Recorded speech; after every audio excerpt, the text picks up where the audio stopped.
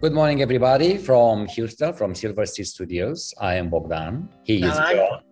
And I'm John. Welcome. Glad you're here today.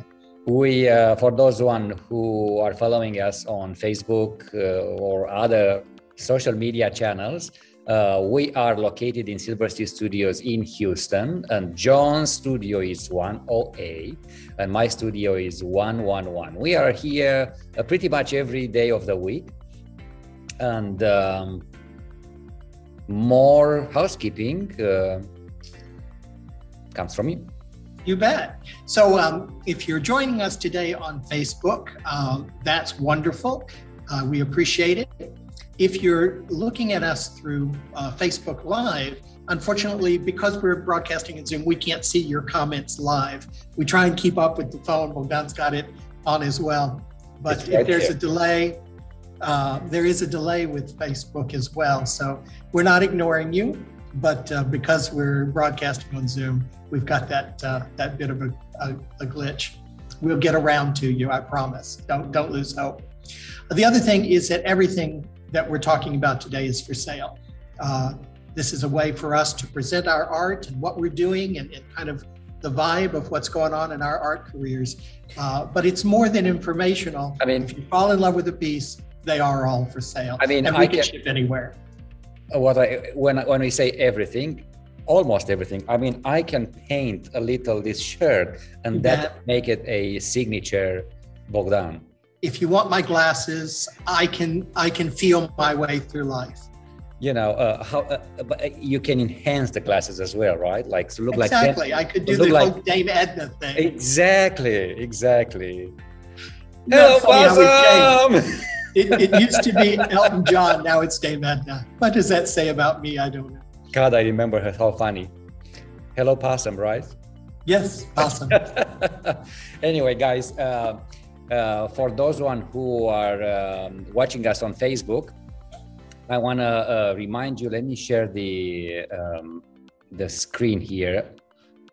I want to remind everybody where can they find our social media channels, and that is on Facebook, Instagram, and YouTube. And on Facebook, as well, of course, it's Bogdan Foto Art page. Uh, if you want to um, follow John, you can uh, search for John Bishop Fine Art page. And as well, we are on Instagram.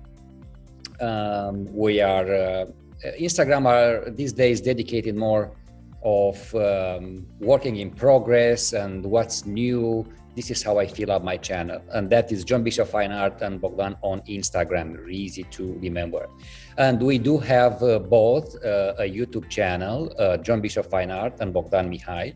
And then um, uh, the most important thing about YouTube is uh, John Bishop Fine Art. When we're gonna, we have our Art Life channel uh, where we discuss every week what happens with us uh, day by day and what plans and what what we thinking um, about this uh, art life thing. And uh. The people we meet and what we've learned along the way. uh, but we'll talk about all this a little uh, later today. Uh, Let me just plug, can I plug two other things? Uh, I also do a weekly blog uh, and a weekly podcast, Hmm. both a video and, and audio podcast. If you're interested in either of those, just go to my website, uh, johnbishopfineart.com, and uh, the, there's tabs on there to get to all that content. again, we are everywhere. Yeah, and we've been doing this show for now. This is the 30, what is it? Uh, 39th or I can't remember. 29th? If it's not a round number, I don't even. Uh, I think it's 29th Yeah. Uh, just pick up a channel you like, and that's fine with us. You don't have to follow us on every single one. Anyway, let's uh, let's move back to uh, the slideshow. Uh, let's Okay. let's introduce the first two pieces I w- we want to show you guys today.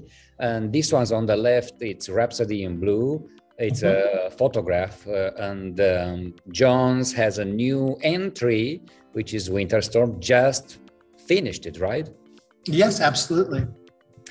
Anyway, uh, anyway, I'm, I have to stop saying this word anyway. My very first Better than, uh, uh, better than uh, Uh, my very first piece uh, today in today's art chat is Rhapsody in Blue. I just put this uh, image together uh, last week, and um, it's it's almost like a celebration of the end of summer. These flowers actually are uh, scanned individually and put together in a bouquet, kind of bouquet, and the the resolution and the detail of them are just amazing. And um, it's being printed as we speak and um, i don't have a large it's going to be a 24 by 24 inch um, paper. And um, i have here with me that i can share an artist proof. It is Stunning. truly remarkable.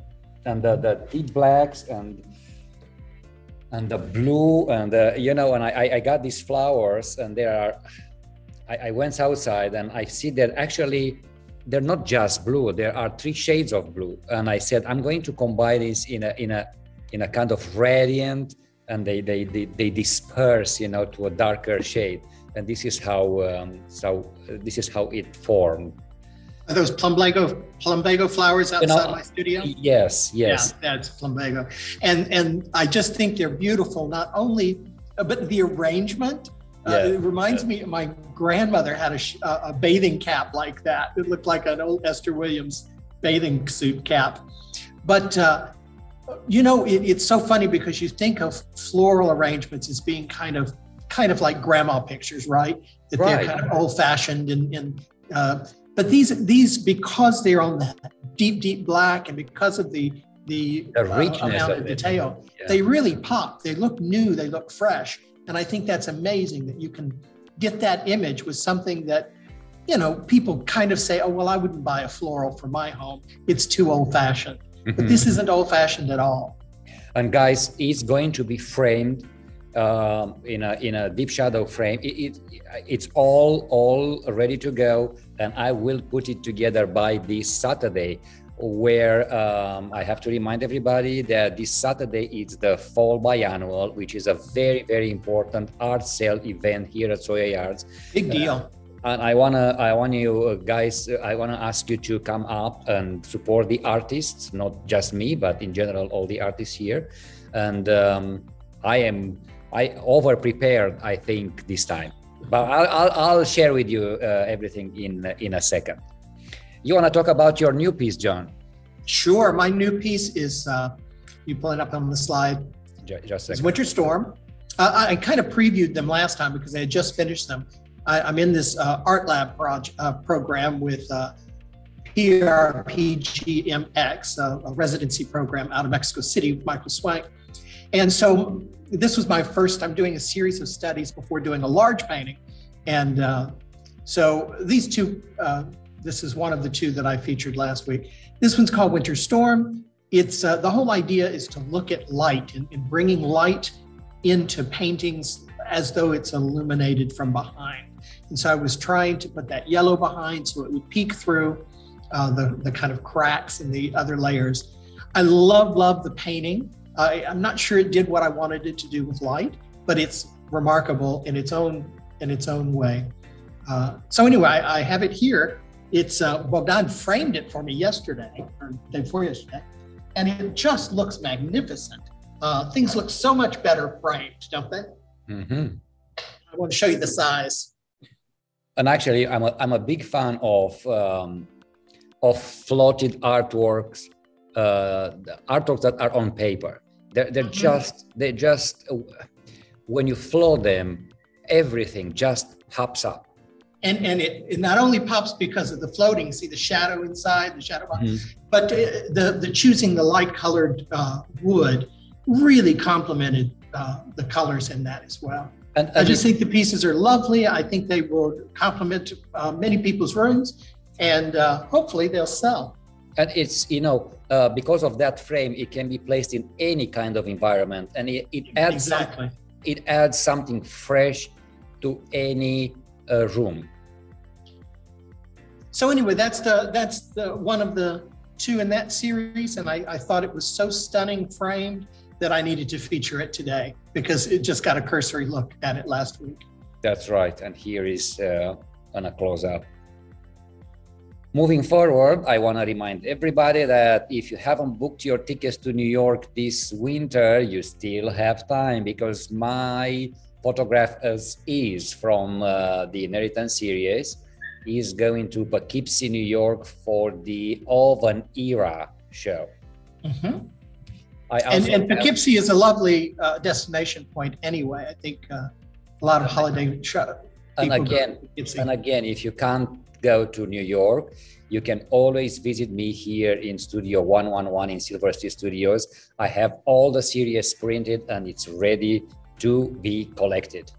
Excellent. And this one has been collected, right? Well, it's been shown. It's been getting lots of attention lately. So it's been in a, a number of exhibitions, and uh, we do have more. Probably will be again soon. Yeah, we do have more news about this uh, series, but that will come next week.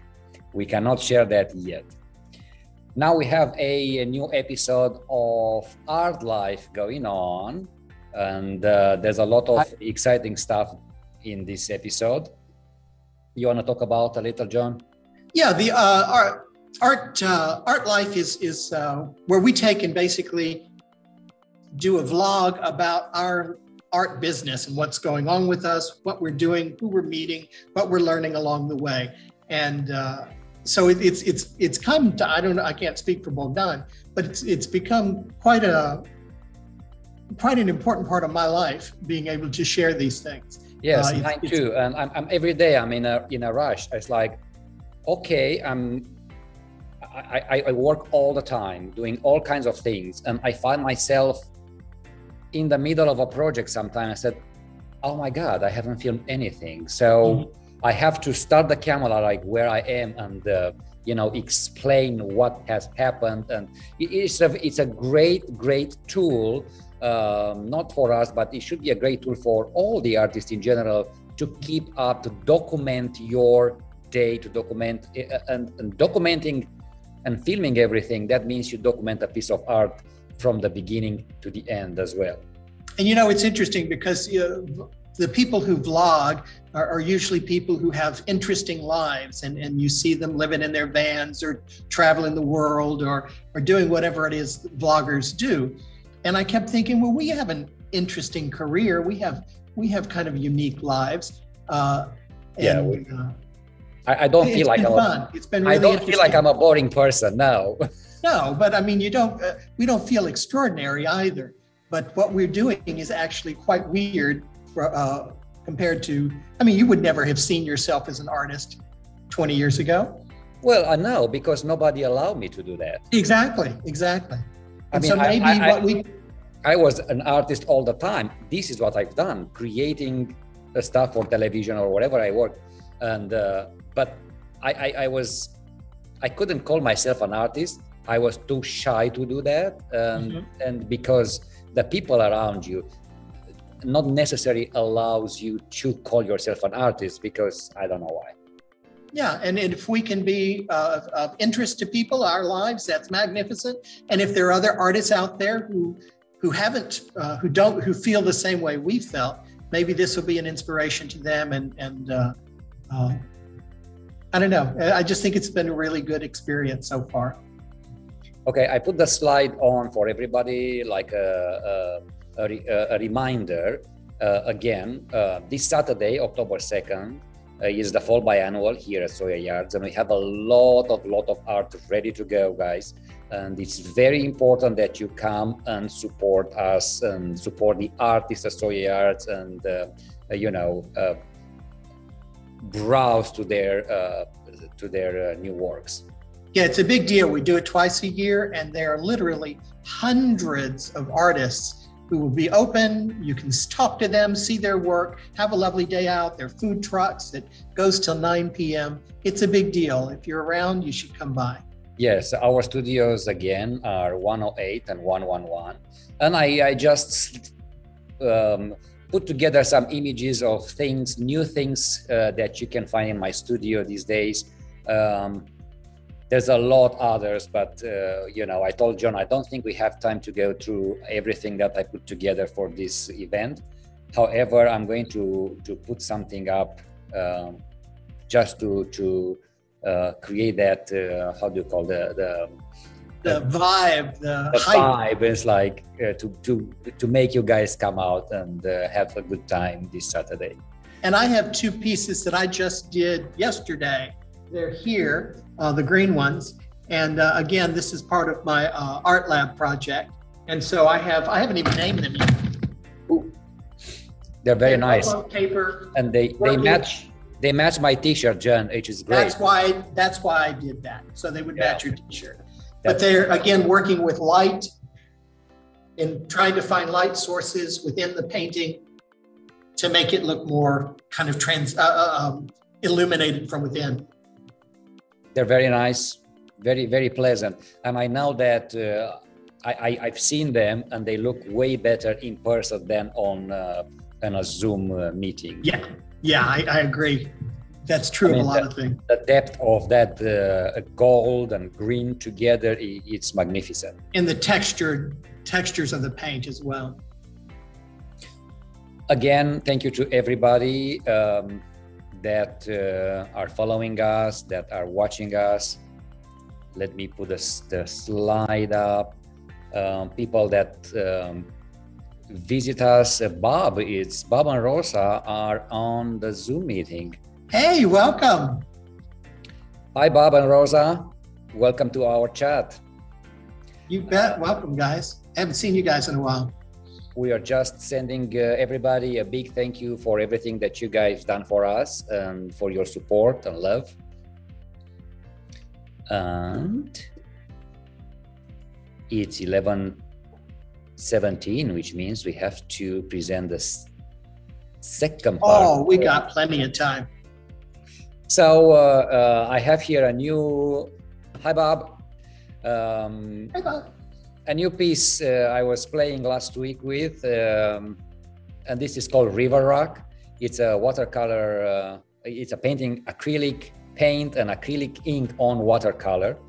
And, um, you know, I, I, I wanted uh, actually, your piece is Cyclone Mhm. this time. And let me go to mine, start this. Uh, as I said, uh, a week ago or so, I was playing in the new home studio with some uh, acrylic and uh, acrylic ink, and this how these pieces uh, uh, were born. Actually, I have one that it's there's kind of a pair, if you want. This one it's um, River Rock, and the other one is called Lava Rock. And I wanted something simple. I wanted something bold. Um, of course, I didn't I didn't know exactly how this will turn. I wanted to create not perfect circles, but I was thinking of the form and shapes of uh, of uh, rocks in the water. You know how they are like round, but not quite round. Something that is more organic, more pleasant for the eyes. And this is uh, the piece. This piece. This is how this piece has turned. And I, I remember when you when you first showed it to me, you were like, "Is this finished?" And and we were both like, "Yeah, I think it's done." I think it surprised you that it was so so simple and so so bold. Yes, and uh, you, and again, I have it here. Let me just turn off the screen. It's quite large, Yeah, you know, and it's so it's so beautiful and it's so simple and so organic in a way. and you know that that that black that jar that completely black black very matte. It just Yeah. absorbs obviously all the light. You know, it- fir- It's like there are holes or they they there's negative space there, but it's in the middle of the painting. And I just think I, I think they're very very striking. I um, like it. know, It's really different. you- Yeah, you know, it's almost like I don't know why I like it. I get it. Yeah. Typical of art, right? I don't uh, understand it. I just like it. But if you if you guys come uh, come this Saturday up, you will be able to see the the lava rock. i- i- Its pair. Yeah, it's basically the same idea, but on on pink instead of blue. Okay. So let's do this. You want to talk about yours? Yes, Cyclone. Cyclone is one in a, a series that I call my Storm series, and they're all 12 by 12 inch on uh, paper, and uh, they're they're squiggly little lines. In fact, I think this is a cooperative thing. You did the squiggly lines, didn't you? Yes, I did. May- I actually. Maybe not on all of them, but you started them that way. Yes. And you were like, I don't know what to do with these. And I said, just give them to me, give them to me. And so I went in and colored them. And so there's been a whole series of these. Uh, and I don't know why, because they are so chaotic, because they're so they they uh, they seem to have so much motion and energy. I just thought they looked like like storms on a on a on a, some sort of radar. Okay, so Yeah. you, you, what I see is the top part looks like a rock formation. Uh huh. And so the green part could be like a canyon. Yeah. Water? canyon. and so the bottom brown is also the other side of the canyon. So you have a tornado going through a I was canyon. going to say, and, and something's going on in between. right. You know, I, But I I- really thought these were, were striking because uh, when you put them together, we had several of them framed. I don't know if there were four or six. Every single one of them sold uh, when they're framed. And I have a few of them left over that haven't been framed. Uh, and uh, I just think they're, I think they're delightful. Lots of metallic paint. Uh, Bob has made fun of me in the past because I do use a lot of gold. But, uh, um, you know, you got gold, you should use it but you but, know, uh, I think they're just I think they're remarkable because they they're energetic. They really give you a sense of, of energy and power and, and movement. And it's uh, I, I want to um, add here that uh, these pieces in the plastic are matted uh, just to protect the artwork for the plastic. Yeah, just from the shop. Yeah. You can take the mat off at any point and uh, reframe it edge to edge, or you can have it floated the way I like. Um, I, I always tell people that comes here that you know if you need help with framing, I can help with that because I know how how the piece, how my piece will look best. Anyway, I just love them, and I say there's there's several of them left. I think there's four of them left, and we should probably get them framed up because sometimes it's hard hard for people to understand or get a, a sense until they see it framed. I know And that I'm always blown away when I see something framed. It just it adds a whole new element. And, and. I, I noticed later that people are are interested in having the artwork ready to go on the wall. You know, um, i- if later on they want to do a, uh golden frame and I don't know a specific sort of uh, frame, they can do it at any point. Mhm. But uh, you know, the majority of my frames here are white, and I tell everybody those are studio frames. It they will be fine for a while. Take them home, play with them, wait, and you will know when to change the frame and what kind of frame. Well, speaking on the collector side, uh, I, I can validate that because we bring un, non-ready to, to to present pieces home all the time. So, and and they end up getting just stuck somewhere until we can Sure. finally get around to taking them somewhere to get framed. Sometimes they never do. Um, we were at in a gathering over the weekend, and another collector was negotiating with an artist, and part of his negotiation was, "I don't want this unless it's ready to hang because I know I'll never get to it." It's it's a very Yeah, it's that's not that's true. it's not only that some some people it's not the money an issue it's very hard for a lot of people to decide what frame looks best with this artwork and i- and i tell everybody uh, an artwork uh, it's like a, a diamond if you don't give that gold ring frame uh, you you can't use it you, you know Oh, you could cut glass with it, I suppose. good, good analogy. Having a, a stone that's not mounted. yeah, exactly. It's just like, yeah, look at that. john do we have any other announcements Uh, yeah, probably. Uh, first of all, uh, you've got uh, a relationship forming with uh, Michael Swank down in Mexico City. That's right. Uh, I forgot about that. And yeah. uh, you want to talk a little bit about what you're going to be doing with Michael? yeah. So uh, Michael, PRPGMX? I have I will have to repeat that a hundred times to A hundred times. I'm getting used to it. Yeah. So uh, Michael Swank is um, owning a residency program and a gallery in Mexico City. And he, uh, through John, got to know me and was very interested in my photography. And he would like to um, organize an exhibition for my inheritance series uh, soon. and um, he also uh, is interested in having me uh, to be part of the um, curatorial uh, group um, for the photography side of the gallery, which uh, I thought that the, this photography side it's a new kind of uh, uh, path for him as well, and he would like some uh, um, people with some experience to curate various photographic shows, and um, he also um, would like me to think of, and, and curate my own show um, to have uh, on display in Mexico City.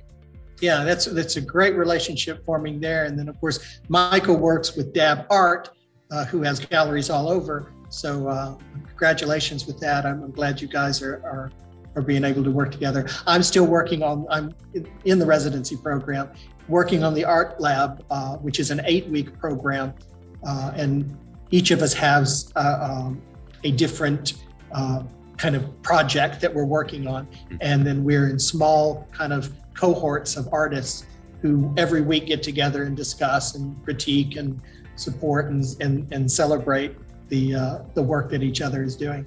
And it's really been great because I'm meeting people from all over, mm. uh, people I don't think I would have met in any other, other way. Uh, so that's, that's been really good for my practice as well. Fabulous. And yes. Then, I, mm-hmm and then of course you're still we're still both waiting. We both applied for FAIN in Mexico City, which is uh, an art show, uh, kind of a, a three day art fair. And by the way, we're waiting uh, to hear on that. By the way, it I'm gonna know by October 5th. Yeah, it should be very very soon. And then of course you're still showing with FAIN from Guadalajara online. Yes and then of course you're going off to uh, you've got the show in Poughkeepsie coming as well. So we're staying active. Uh, we're moving moving along, and of course we've got the big uh, biennial this weekend, uh, which should hopefully uh, if if you can make it, that would be great. It's a great great day, and hopefully the weather will uh, be more pleasant. Uh, you know, art art folks don't mind getting rained on. Artists do, but art folks don't. have to bring our umbrella in so we can keep our art dry when we go to. Yeah, and if you want us to paint it, we'll paint it.